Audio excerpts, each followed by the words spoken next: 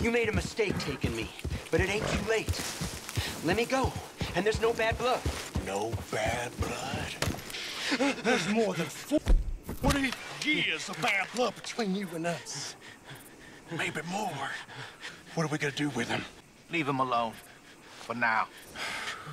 He's worth more when he's breathing. You're just.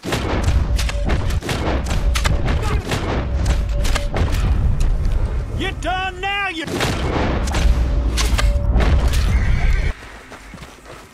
Mr. Deputy. Look, them raiders blindsided me. Tied me up for some kind of ransom, I suppose. Guess that was paid, though, wasn't it? Now, come on.